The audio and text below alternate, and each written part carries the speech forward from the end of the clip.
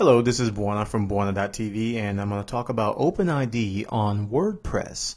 OpenID is an open decentralized free framework, blah blah blah blah blah as its definition says, but essentially it is a system to allow you to log into many sites using one user ID and password.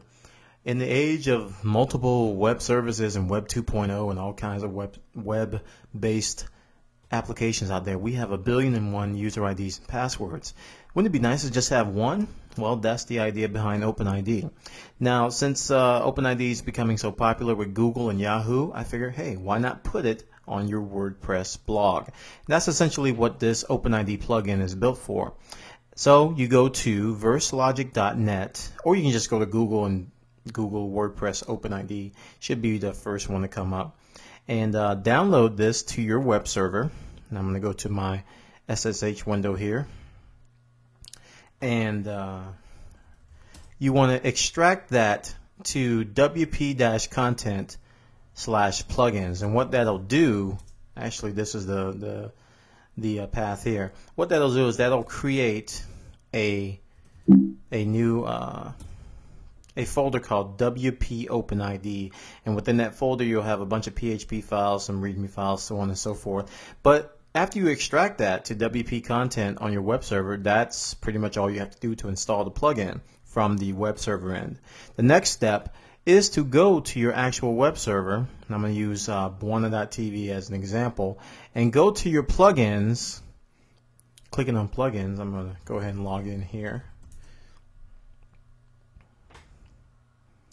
Go to your plugins and you will see a plugin entry called OpenID registration. And what you do here is you just go to the right and you click activate. Now mine is already activated so naturally the, the URL the link is going to say deactivate but the activate link will look like this. Click it and it'll turn green and be activated.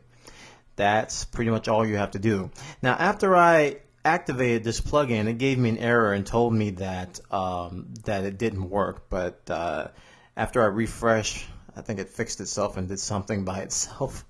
so the next step is to go to Options and then go to OpenID on the tab, and you can configure the options here for your OpenID. You can put in your URL for your trust root. You can also sorry iPhone going off here. You can also put in your uh, put the URL box on your WordPress login form. You can also put it on your comment form, and you can also use an internal style, which I don't use, so but you can look at that if you want to. So once you've gotten this going on your site, you can go to your website. Here I'm on Bwana.tv, and at the bottom, I've turned on an option to since I've implemented OpenID, I'm going to require people to be logged in to comment. This will cut down some spam as well. So clicked on the login link and uh, well I'm already logged in so let me sign out. and what you'll see is a new box on your WordPress login form. It says or log in using your OpenID URL. Now there are several OpenID providers and by clicking this link you'll be able to, actually that link doesn't link to it, but if you go to Google and just Google OpenID, you'll see sites like My OpenID and I think uh, I think the LiveJournal offers the service, a bunch of different OpenID services out there. Just put in your URL. Mine is bwana.myopenid.com and uh, you can register on this WordPress site and comment using your OpenID. So there's no need to create a new username and password. And you can tell an OpenID to remember that and everybody's happy. so go uh, go to again the site is verselogic.net if you have WordPress. 2.3.2 uh, is the latest I believe. 2.2.3 or 2.3.2 it works on that. And install it. It's very simple.